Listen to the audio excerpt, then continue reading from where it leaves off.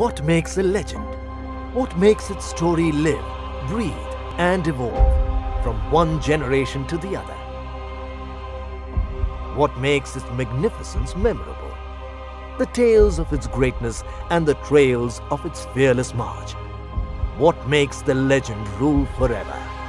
Its ability to evolve in time, to overrule the norms, to make heads turn and change the game constantly. The legend, one that conquers all by pushing the boundaries of time as its legacy lives on.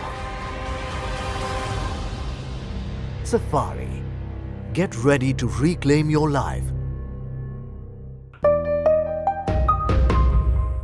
Legends aren't born, legends are created.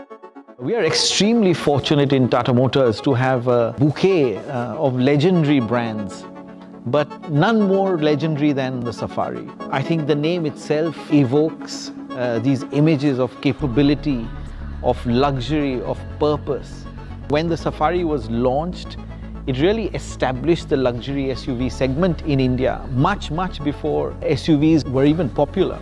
So when it came to Tata Motors design to, to bring back this legendary brand name in a new form, it was a real moment of excitement, of course, for all of us in the global design setup, but also a moment of nervousness. When you bring back a legend like this, you've got to do it right. So we started, of course, with the architecture.